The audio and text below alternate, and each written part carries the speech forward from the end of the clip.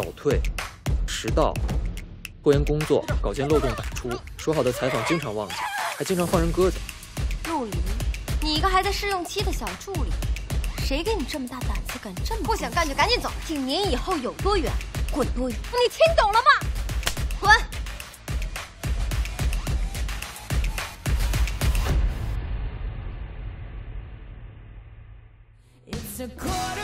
我钱真真发誓，绝对不会像以前那么对你。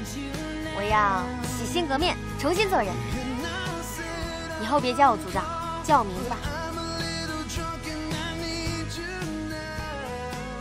真真，谢谢你来到我身边。虽然来的时间有点晚，但是你还是来了。哎，你俩差不多得了啊！干什么啊，在这儿？好的，大哥。对不起。